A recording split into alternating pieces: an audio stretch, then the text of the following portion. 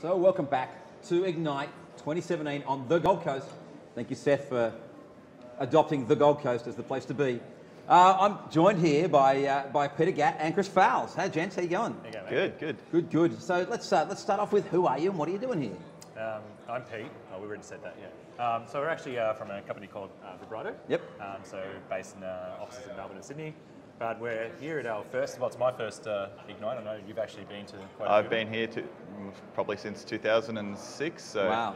yeah, quite a few of them. So what other way to do Ignite but to just be a speaker? A speaker. First time around? Well, that's long, long time listener, first time speaker. I love it. That's fantastic. Um, and you guys do some pretty cool cool stuff at Vibrato. Yeah, so we're all um, we're all about automation. That's our big thing. Um, so cloud is a big part of that. So taking you know sort of our, our clients from you know on-premises solutions into into the cloud is something a big thing that we do. But we bring the automation as we go as well. Um, so that's uh, a lot of our presentations that we're actually going through as well. So today and on Friday is around some of the cool things that we've done in that automation space when people come across from the cloud. Awesome. So we'll get to the, the, the sessions in a bit because Yeah. there's some awesome stuff you guys are doing with that. I'd just like to explore a little bit more about what you kind of do in Vibrato. So automation for whom? What kind of companies do you, do, you Yeah. do stuff for? Um, uh, small, large. Uh, we Yeah. basically um, look at it not so much around the, the verticals, but definitely across the horizontal of any organisation, starting from pretty much the CIO, CTO down. We help them work through the entire vision of you know basically their business moving into a cloud environment. So we start at the very top. We have a technology tree that we take customers through. Um, so we actually teach them about all the different components and um, capabilities that they need to be able to do a certain level of automation. Um, and what does that mean? Not just automation for the sake of it. We also build the business case with them around what automation actually does for the business in terms of saving, reducing OPEX, but not just that, also what you can actually do in terms of stepping forward next and saying, now that we've got this, we can move forward at 100 miles an hour and getting a real competitive edge. So that's very cool. I've heard the word automation a couple of times. Many I'm times as still, can. still not positive what you're actually automating. Yeah, so the big word that everyone knows is, uh, is DevOps. Right. So if we say that as well, so DevOps is obviously DevOps and the, tooling. It's a, it's a cultural term, also about getting those you know developers and operational teams working together quite closely. Um, so we, we work with a lot of products in that space. Um, we're you know partnered quite heavily with Chef, uh, HashiCorp, groups like that. Um, and now Microsoft in a big way as well. Um, and yeah, we, we work with uh, those different like different parties, gluing those parts together. So you're automating deployment, you're yeah, deployments, the software development cycle. The dev cycle, right. Yeah, so not just development, but also just even application delivery. Right. So you know, I've got off- an off-the-shelf product. I've got, I've got SAP. How, how do I get that in the cloud? And I, I don't. I want to do all the config on its own. Right. Um, so we, we just basically take out all that manual steps, and, and that's what we automate in terms of the delivery process. And I'm guessing there's quite a big technology stack behind that. Have you guys adopted a particular uh, a branch or brand of technology, or are you pretty much technology agnostic? I'd like to say we're, we're technology agnostic. We've definitely got our preferences, like our preferences, um, as, a, as an organisation. Um, but I'd have to say that, um, like I said, we, we work closely with the likes of Chef, especially in the Microsoft space. Chef kills it. Um, they just do such a good job, um, especially like with Windows and stuff like that. We've been doing a lot of that um, stuff over the last sort of six to 12 months with them. Um, so that's been really good, especially from the config management, also tools like Habitat that they've released, and also HashiCorp. So we're the number one partner in Asia Pacific. So what do they do? Yeah, so um, for those watching, they might have heard of Vagrant um, and Packer. Well, the same people who built those products, um, they build a whole heap of tools that actually support that DevOps sort of mentality. Um, so everything from instead of ARM, they have Terraform. Right. So they and they've got their you know lifecycle tools. They've got Consul and Vault, which is the way of being able to automate all the security management. So we take elements of those um, and the different cloud platforms, and we build those. We, we basically glue those together. Um, no real preference. We're agnostic. It's really the right tool for the right job. Yeah. Anything to add to that, Chris? Sorry. Yeah, so like um, Terraform has been sort of something that's been taking off quite significantly. Um, some of the stuff that we're working with in our demos um, actually goes into a bit of ter- Terraform on Azure. Okay. Um, some of the other HashiCorp products like Consul um, and, and Vault that Pete mentioned um, are really making sort of secrets and um, service discovery a lot more simple within the within the automation space. Um, there's always been, well, not always, but there's been for a long time ways of doing it. Um, but what HashiCorp is doing is making it really simple and giving you sort of a real common language to talk across all these different aspects of DevOps and automation. Yeah, absolutely. Cool. So I guess one of the things you kind of come in here assuming is that automation is a good thing. Now I happen to agree with you on this space. But there are some people who still maybe need some convincing or some or, or, or, or some uh, some additional evidence. Why is automation such an important part of a, of a modern development or deployment process? Absolutely. I mean, uh, look, I, I know for our clients, um, myself, uh, I started even like 10 years ago saying that I want to automate myself out of a job. Um, I don't like doing anything more than once, right? And I don't think anyone does. I don't think an engineer does. So, as much as automation is good in terms of uh, speeding things up, speed to delivery is there. Um, really, the thing is, engineers want to focus on doing all the new things and innovation and moving forward.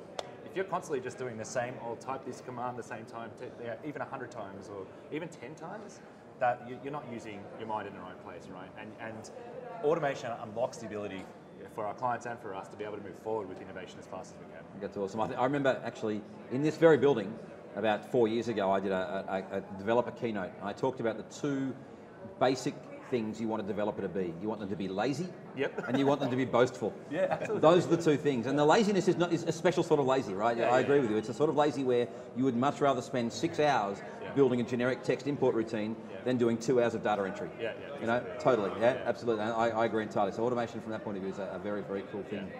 Um, you guys doing a couple of sessions here at, uh, at Ignite, and, and both of them really uh, took my fancy. But the one that you're doing next, I think, is about um, about serverless and Azure functions and using that as part of the process. So tell, Yeah. talk, talk through a bit of that. Um, so, uh, I mean, and I'll let uh, Chris go to, to the tech and explain some of the stuff behind it because he, he built it all.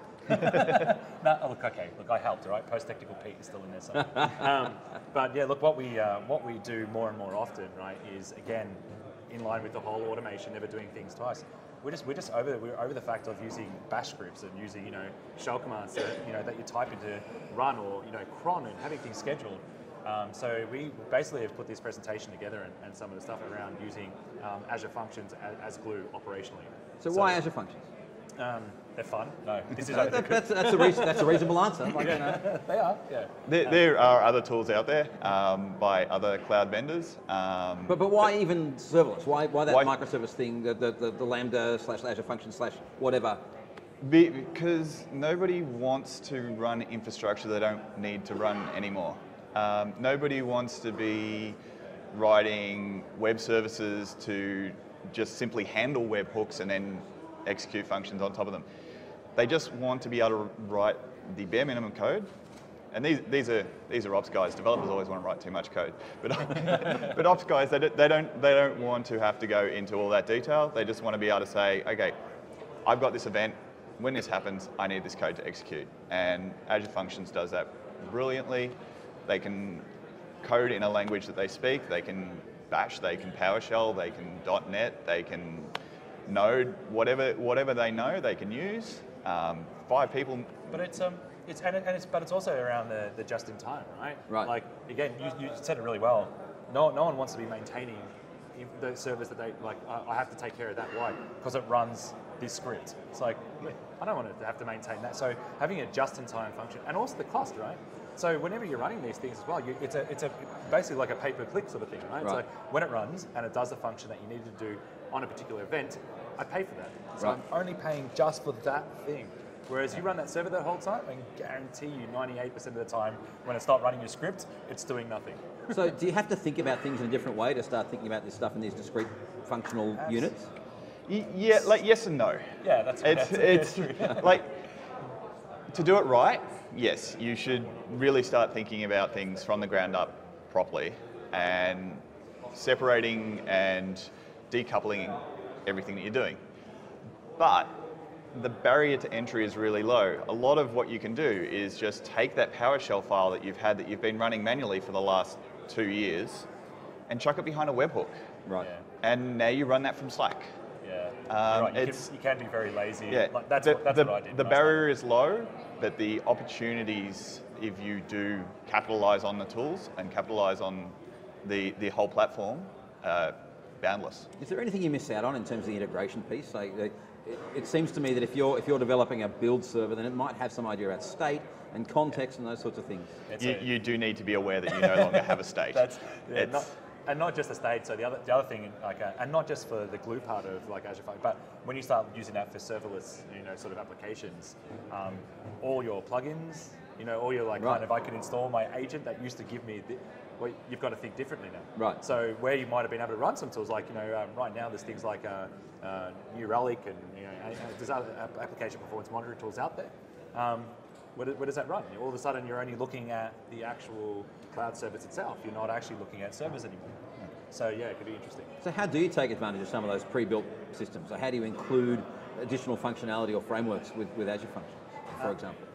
Oh, So um, one thing that uh, we're looking at, for example, is um, using Bash on Azure Functions to call into servers and trigger things, or you, to start up servers that are that are running long-lived processes when they need to run. Okay. Doing things like that. And also things like obviously there's, there's outputs. So I mean some of the functions we're even showing, yeah, um, do pump things out to, to blob like you know, to blobs and Yeah. into storage. And then once they're there, it's almost like you know that whole distributed They can trigger system. off Then you look at them from another system and you analyze it that way. Nice. So it's just making sure that you're also integrating the functions. So you don't have to do you don't have to adopt this holus bolus all at once. You, you can you can do it in bits. Absolutely, yeah. It, Um, iterative, just start off with something simple and then, oh, build on top of that, and then build on top of that, and then, and then rethink it and recreate it all again. yeah. Yeah. Well, refactoring, man, it's what it's all about. So, so where does one start? If you if you decided that yes, you want to adopt this automation process, you decided that it, you know it's, it's the way to go. How do you get? How do you begin? Is there? Is, like, you guys have a template that you work people Yeah, through? absolutely. So from the automation space. Yeah. yeah. yeah. So uh, we, we developed something called um, uh, our technology tree. I'm not sure if you've ever played the game Civilization. Yeah. Yeah, yeah. You know, you walk your way Yeah, through and yeah. first the wheel and then the Yeah, horse right. and coach. Well, we actually take people and like take our clients through that end to end. Okay, nice. So from nothing to the full blown um, CI/CD um, and a feedback loop that will even roll back at, at deployment if, it, if it's detected after the fact that something's gone wrong. So you get right to that level. Nice. But every step of the way, we actually have epics throughout Yep. it. So very much an agile sort of framework as well that we take them through to say we will get you this capability, and that unlocks this for your business, and it's the return on investment. Then we'll give you this capability. And as we go, we build that up. Um, as we move into the cloud, though, we also we have a uh, method where we use a, an anchor tenant. So when we actually do a big sort of project, and we've done a lot of them now, we move all the stuff from your on-prem into the cloud. Yep. So as we do that as well, we actually do a full-blown analysis piece up front, Mm-hmm. um, where we actually do the entire migration plan on all the way how to decouple or how to group, um, target architectures for the, for the you know the, the current state architecture. We go through all that with the customer to get them in there. But a good place to start is a proof of value, not a proof of concept. Okay. So take something that's small enough but complex enough, move it into production. Don't just move it and go, hey, we test. No, move it into production. I like that. Get it actually running, right? Yeah. And get it going and get the CI/CD and everything happening for that thing, and you watch everything gravitate towards it. How big does your proof of value implementation need to be? Six weeks. Six weeks. There you okay. go. I'm just going to put a number out. Just put a number out there, yeah. yeah, well, I mean, we, we had this chat with uh, Chef the other day as well. We're talking to them and uh, actually at a conference last year too. And it's become a sweet spot with all the evaluation we've done. Six weeks is a, is a good amount of time to move something, get it going, and prove the value very quickly. All right. And is there have you have you found that there's a, a, particular type of person who jumps on this quickly and you can convince them quickly, and others who are take take longer to let's say adopt your point of view? Uh, yeah, look, we, we definitely love to work with the, the clients who come to us who, who have, a, have a thirst for change. Right. Um, that used to be a struggle. So go back a year or two ago, I'd say there was a little bit more of that. Now I would say that, that our clients are probably, if anything, pushing Pushing us pushing change. us, saying, well, I want to change all the things, and we, if anything, need to be the voice of reason of, you might not want to try and move everything into the service thing right now. All Like, at once. SAP doesn't do that. Like, that's sort. So, um, it's probably us who are trying to give a voice of reason now. Yeah, nice. Um, and what, where, whereabouts are you contacting these organisations? Are you coming in through the IT departments, or are you coming in through Yeah. sort of the CXO level, or even through uh, business? That's a really, really great question. So, um, Vibrato also has a, another division that we've sort of uh, kicked off, which is around our big data and analytics. Okay. Um, so, when we're, you know, the, the sort of more so traditional server move and, and cloud sort of stuff, uh, that really does make its way up kind of into the CIO, CTO. Normally, architects are talking to us, and then eventually, you know, there's some groundswell about some cool things. Right. And then we're talking at a much senior level to get endorsement and go that way.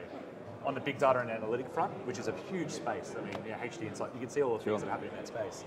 That's a different conversation. That's a conversation with the marketing team. Right. That's a conversation with the business. Yeah. And they're a lot of fun. They're fun conversations, right? Yeah. Because it's not, um, often a conversation can be around, you know, the reduction of OPEX, yeah? Whenever we're having the chats around the big data analytics, this is making companies money. Yeah. And this is what I mean about that. Once you get in there, now you can move forward with that innovation and just make a fortune of it. So That's kind cool. of, kind of, you know, sort of uh, attacking it from both fronts when you say. I think that's, Yeah, that's yeah, how we do it. definitely. one of the things that uh, you're talking about in the other session is, is around um, Docker and, and containers and, and this move to, to, to containerization Yeah. across Azure. But uh, let's talk more, more across the entire board. Yeah. Talk a little bit about um, how that's changed the, the, the landscape for you guys. Yeah. Ad- Actually, you can cover that one, I reckon. Well, it's it's sort of ch- changed the um, the mentality of uh, having to target a platform. Like you, you still need to sort of be aware of what assets you can get out of a platform. But if you need to go down to a really low level, you can be really flexible on where you're going to run. Um, and you get the same experience when you're running on your developer's workstation as you do when you're running full in production in the cloud. And is that a reality? Is that, is that fair income? Hundred percent. Okay. Customers doing it now. Like we we've done this with customers in production Yep. plenty of times. I, I actually, Almost all of them. I was trying to think about it before. I don't know that we have a client that doesn't have containers in, in, in production. No. Um, and that's just the reality. It's moved to that. Um, how has it changed the, the landscape? Um, servers are servers, are physical servers aren't a conversation anymore. Right. Um, if there, i- we actually get surprised when there's still a physical server somewhere. Um, but the containerization stuff is not everything goes in there. There's still th- thoughts about persistency. But what's really cool is when you go to a platform like, like Azure and you have the services like a database service that says, "I've taken care of that for you. You don't you don't care." Then a container fun can start because you're like, my app can be small. It can go in there. It's it, it's stateless. Yeah, I don't I don't care. The state and the database and the queues and the caches. Um, then you can pick those things up and containers are qu- quite lightweight. You can test it on your machine. You can connect into Azure. You can move them. Um, So they're I kind of this halfway house between the infrastructure of the service and, and the platform piece. Absolutely, yeah. So Yeah. it's definitely it's definitely that space that just gets everything a little bit more fluid and moving. Okay. Um, and, and cloud has obviously um, brought that to the table I'm going to I'm going to pick up on something else you said before that servers are basically done. You don't think about physical servers anymore. Are they really a thing of the past? Is the guy going into the into the, the server room and changing disks and re- rerunning that beautiful cable run gone yeah. now? Yeah. Look, I still do it for um, for fun. Um, no. when was the last time you were in a server room? Oh, actually, a couple of weeks ago. Uh, why did you? Uh, we just wanted to go have a look at all the shutdown servers. Jeez. It's, it's kind of true. Like, uh, don't get me wrong. I, I mean, they're still there. This is a scary thing for a lot of IT pros, though, right? Um, this is the thing they know. Yeah, absolutely. So the, the biggest thing when we look at that is um, where we still see them is when you've got huge databases, and there's been also an investment. Um, so look, we, we're seeing that there was an investment in, in, the, in the kit. So everyone's like, what do we do? How do we sweat those assets Right. for the next two two years, Yeah. right? So we flip it around. We move production into the cloud, and then using containers and some other cool things like Kubernetes or DCOS and Right. stuff like that, we make all the assets that they do have those real servers. I'm like, there's your playpen. Yeah, nice. Um, Yeah, and so we actually yeah. sweat the asset back the other way and go use all the cool stuff out in production. in the That's cloud. very, very But I do, I do think it's a, a thing of the past. Who wants to be maintaining a server anymore? Even those people, when you say like the roles are changing as a pros, if you said to them, you need to maintain the server, like okay. If you said to them, no, you don't. Now you get to play with containers, all this automation, all this tooling, you get to run 100 miles an hour. Yeah, it's definitely a different mind that occurs. I've met some of those guys, and that's they're fairly resistant. Yeah, and you know, the There, there's a space for them for a little while, but there's less space, less and less every year. Yeah. yeah. I I, mean, I think it's fascinating stuff bec- because it, it, you're talking about a people thing now instead of a technology thing in lots of ways. It's and one of the very first things we have is a, is a cultural segment when Right. we first start with a client, and it is a real evaluation of who, who's coming on the journey and, and who's not. And it can, it can be a little bit of a you know confronting sort of uh, situation, but really the question is, do you want to drive Uber or do you want to still stay in IT? Um, so we have that, con- we have that conversation. Do you have that on the slide? I, I did. I got told to take it off. Uber got upset. Um, but no, it's. Uh, I think it's it's a thing. Is um, you know, once we educate, the biggest thing is that they're normally beholden to want to go there because they haven't been shown.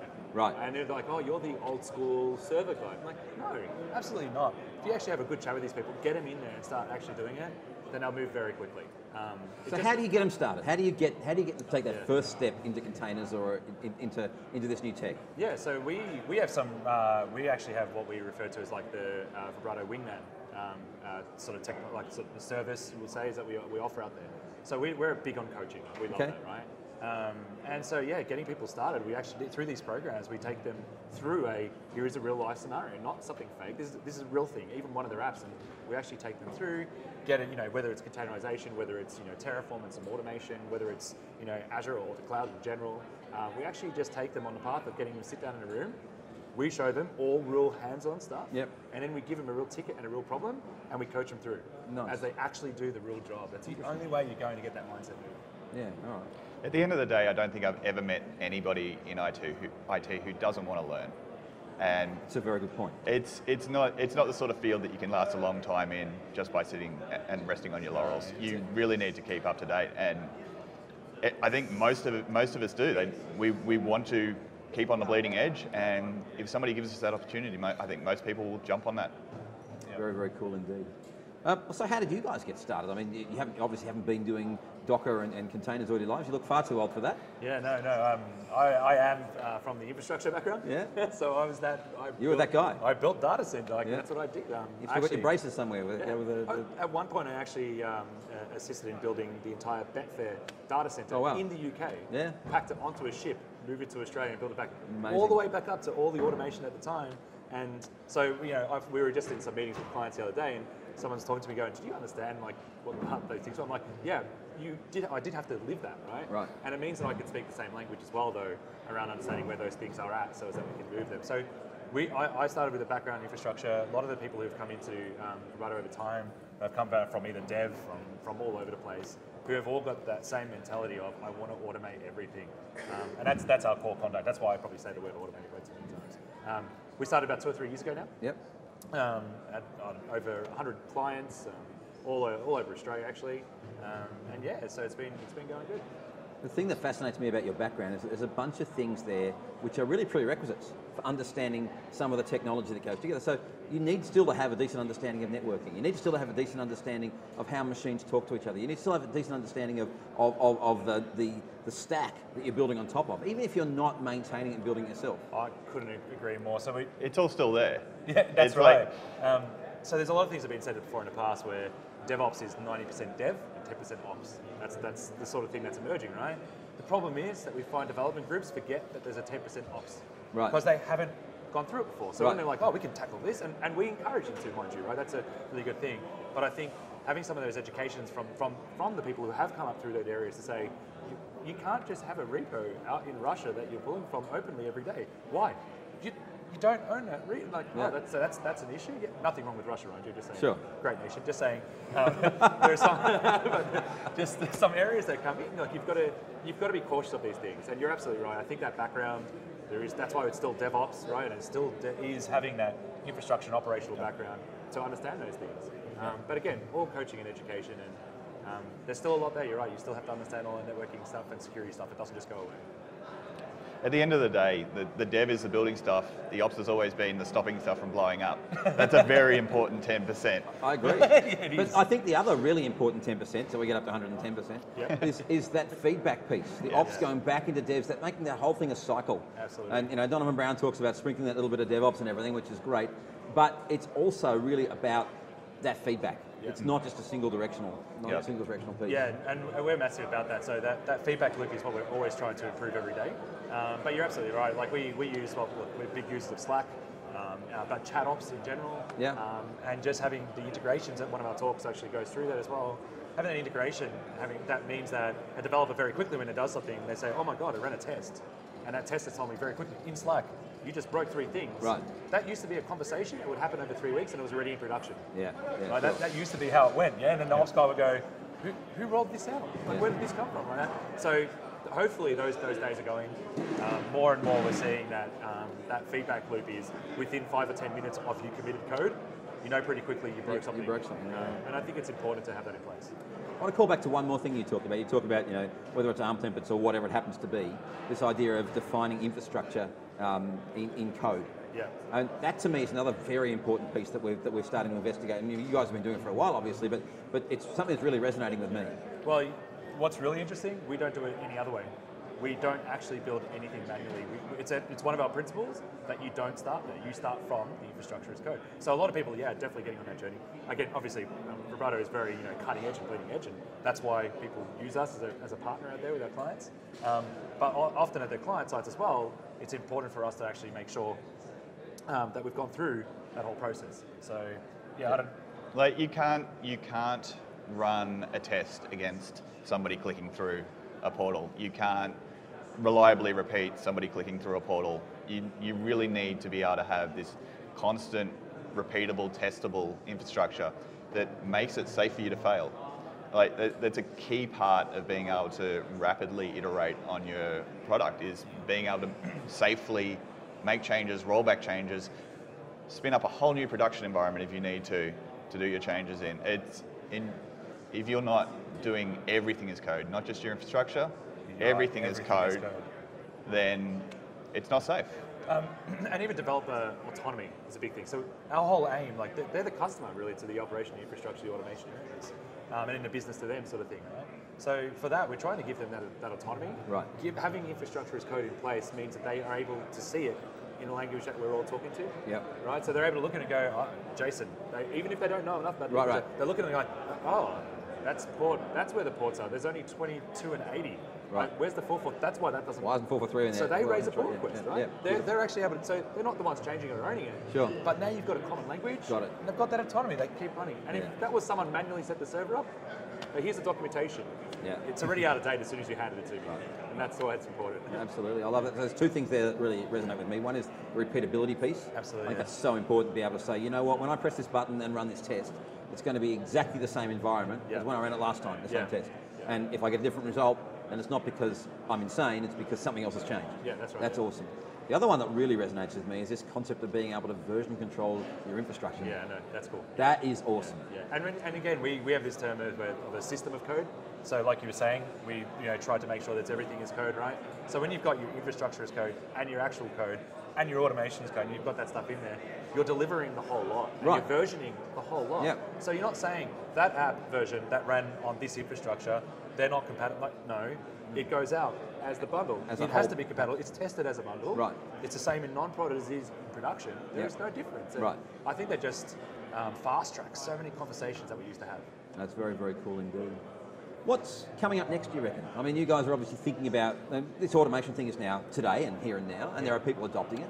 What are you thinking about in the future? Um, self-service. So the Yeah. interesting thing is, more and more we build, right? Um, I- I think it's self-service, probably more so in the big data and analytics space. Put it in a lake, point at lake. And, Yeah. and, and I think things are going to evolve to the, why am I doing this database thing again? What's this data web? Like things will actually start to go away because it's just getting, you know, sort of just put it all in the big pool. We've got enough compute power now to just be able to point to it, right? Um, Okay, interesting. So, I had Greg Low on this morning. He might, he might disagree with you slightly to some of that extent. I think I just saw him walking past a second ago, actually. no, no. But the other element side of the, you know to that as well is that um, once you once you've got those those things there and you, you're drilling it, we're able to drill it quite easily. As in the engineers are. Yeah? Now that we've made it simple because we've automated it, why can't the business just go and spin one of those up? Right. So when the business said, I, I don't know what that is, but apparently I need a web server or this, why aren't they able to just go one of those? Yeah. And so I think the next evolution is the self-service now that we've automated it back to the business, where we basically just become really become the engine room, development included, behind a business function that's just trying to get product out, which is how it should have been in the beginning. What about um, what about this concept of sharing anonymized information to build bigger and bigger data sets so we can do better and better machine learning? Is that something you guys are seeing much of? Yeah, there's. I'm not sure how much we're allowed to talk about. Uh, we, we, we have we have seen some stuff, yes. Okay. Um, it- and it's a conversation that's happening in a lot of different spaces, um, including some spaces that you wouldn't think of it happening in, um, such as spaces that have been very tightly regulated Yeah. previously. Okay. Yeah. Um, uh, there's, a, there's a lot of that happening as well. Uh, even the sort of machine learning, you're right, regulation's a big one. Regulation and, and compliance is, is a big conversation out there. Um, where we, we have this concept which is uh, challenge, you know, challenge everything. Yep. So you know when someone goes, it has to be PCI DSS, that's it. Mm-hmm. Like, "D- does it? Where's that written down? I don't know.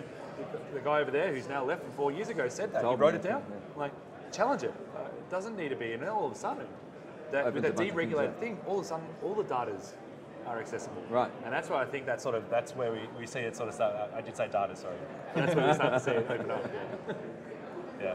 And, and are there some exciting things you can do once you get really, really big data sets? Yeah. Oh yeah. Oh, we're seeing some uh, again. Okay, so the really interesting part, which is why we both stop, is in that big data and analytics area. That is where a customer's IP has been for a long time, Right. And they are now really drilling it.